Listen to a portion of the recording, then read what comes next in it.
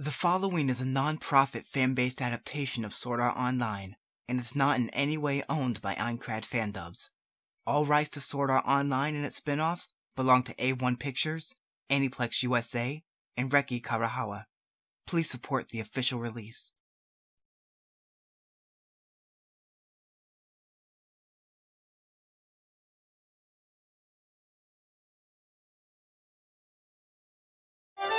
Why don't we form a party? Well, I don't know. Maybe. Oh, come on. It'll be great. Do you know what's going on? Uh-uh. I'm scared. It's alright. It's just a part of the opening ceremony. Let's get out of here. Ugh. Hey, what gives? Why should we believe a single thing you're saying? Son of a... You're a guy? You're not 17! You can't just keep us here! Seriously? What, what did we ever do to you? No, we, we just wanted to play a game!